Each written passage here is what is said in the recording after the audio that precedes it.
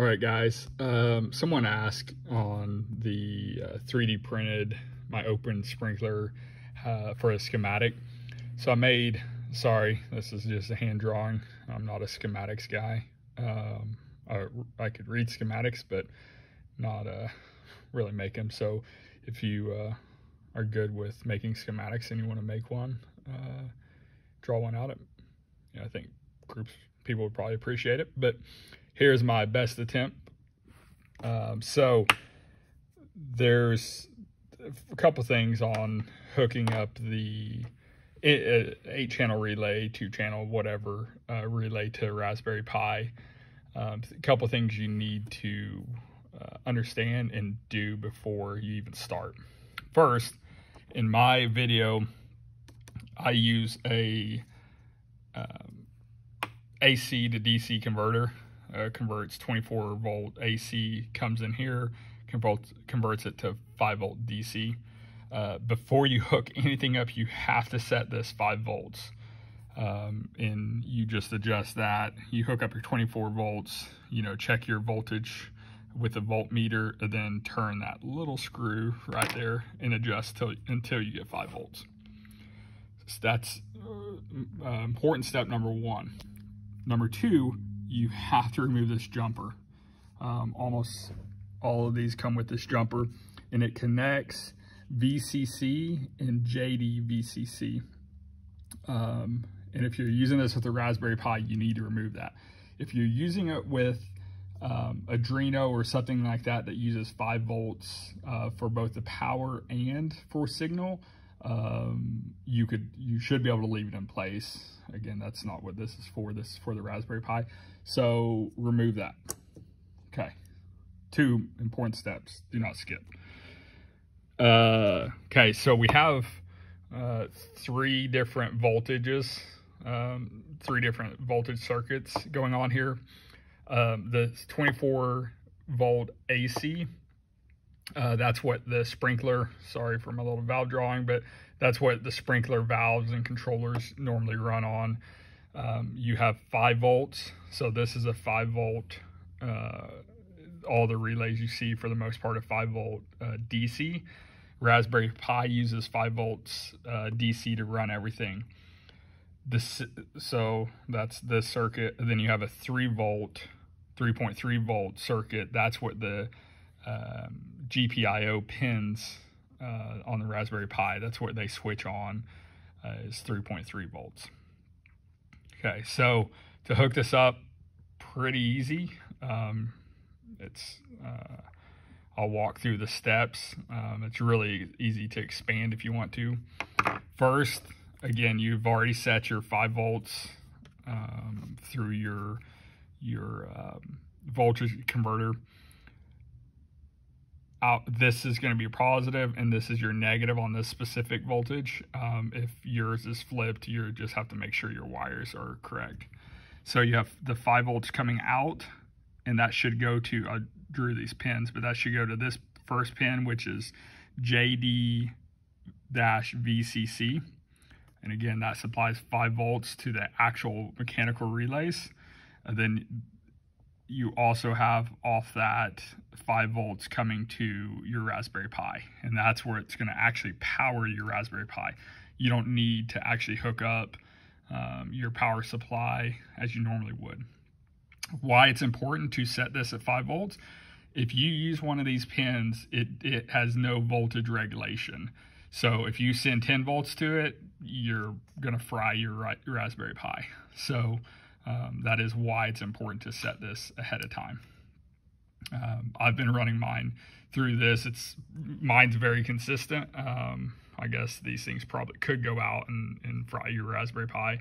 I use this is this is looks like a you know a 3B or 4B, uh, probably a four Raspberry Pi 4.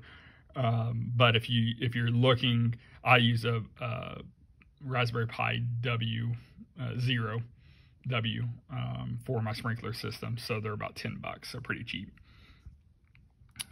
So 5 volts here. The next is the negative terminal, which you hook up to this pin that's labeled ground. Um, and also this pin that's labeled ground. Um, there's another one here. You could hook it to any of the ground pins. Uh, same with this 5 volts. You could hook it to this 5 volts or that one. Um, it doesn't matter. So that that completes your your 5 volt circuit. So now you have 5 volts to your your relays. Um, and you have 5 volts to your Raspberry Pi, so it will power on. Again, you hook all this up without it being plugged in. Um, next, we'll talk about this circuit here and what it does. So you take this 3.3 volts power and you come in and plug into the VCC, um, which is right here. Um, there's also the VCC here. You could plug in either one. It, it doesn't matter. They're connected.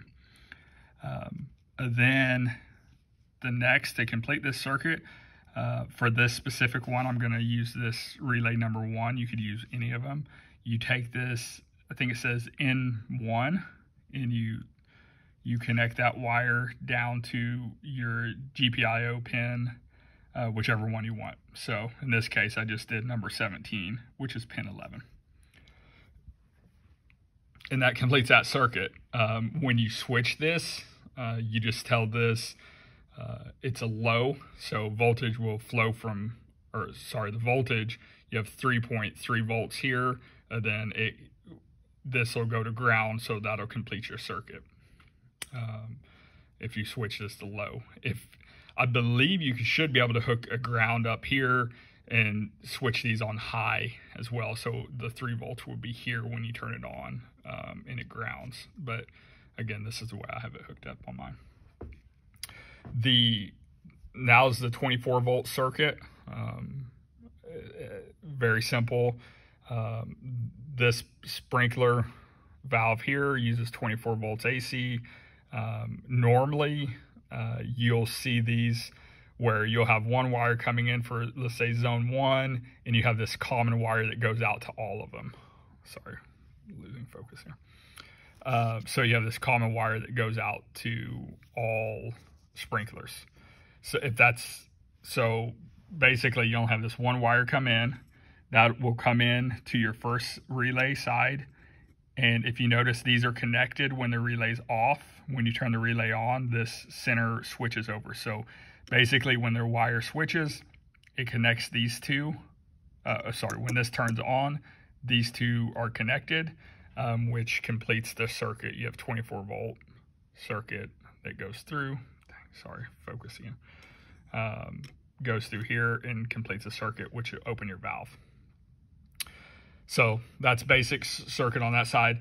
This power supply also feeds again your your AC to uh, DC voltage regulator.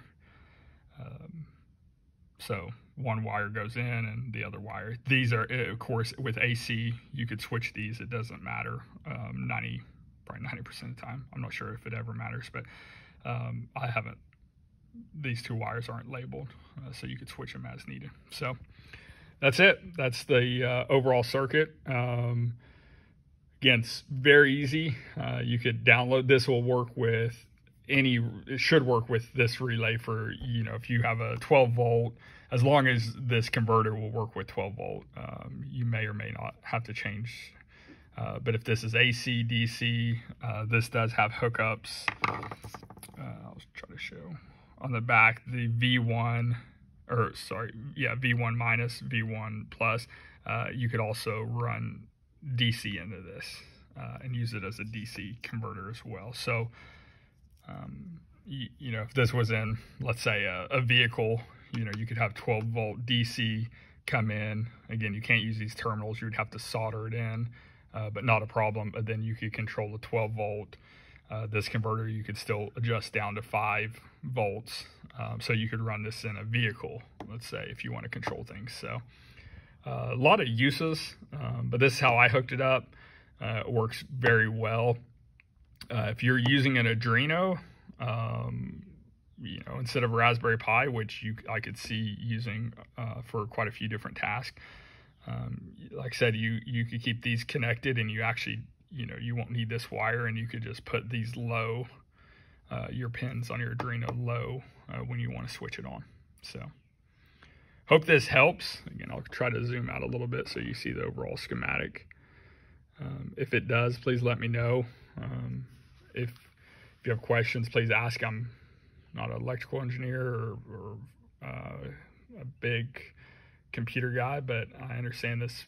I've used this for a while now, and it's I've had good success. So um, if anyone has a schematic drawn up that's better than this, which wouldn't take a whole lot, uh, feel free to post it. Uh, if you hear if something I misspoke on something, please correct it so others could learn. All right. Thanks for watching.